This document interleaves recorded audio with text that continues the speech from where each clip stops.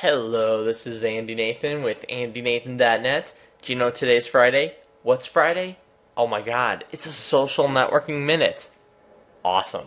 So, what are we going to talk about today? We're going to talk about if this then that. What? If this then that. If this then that what? If this then that.com. Okay, of course. So, let's go to our egg timer and explain it. Basically, if you ever want to automate something, you can go to ifthisthenThat.com. It's a really cool way to automate some of your different processes.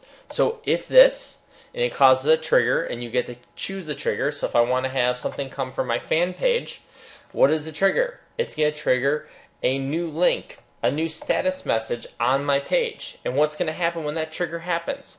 Well, very simple. I'm going to create a trigger that's then going to go over to one of my Hootsuite accounts. And what's it going to do on Hootsuite? Well, very simple. Once it goes on Hootsuite, it's then going to create a message with an auto schedule.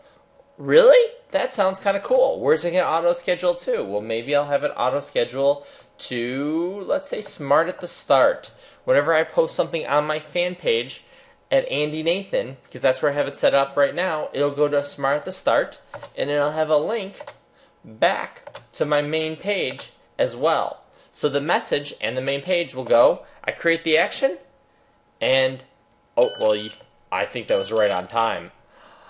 Oh, and then I am pretty much done. All I have to do is do a description. Uh, Andy Nathan fan page to smart at the start. Twitter. And that is it. We've created a recipe and it is awesome. That's all. It's simple. If this then that. You create quick recipes. This is Andy Nathan from AndyNathan.net talking to you about how to use if this then that and have a great Friday. We did it in one minute. And if you want to learn more about that and other cool stuff, turn your old fashioned marketing into new online profits with e marketing experience. Go to AndyNathan.net forward slash Amazon. Ooh, a little sales pitch there at the end. Kind of gotcha, but it's kind of cool. It's old fashioned marketing at its best. Talk to you. Have a good weekend.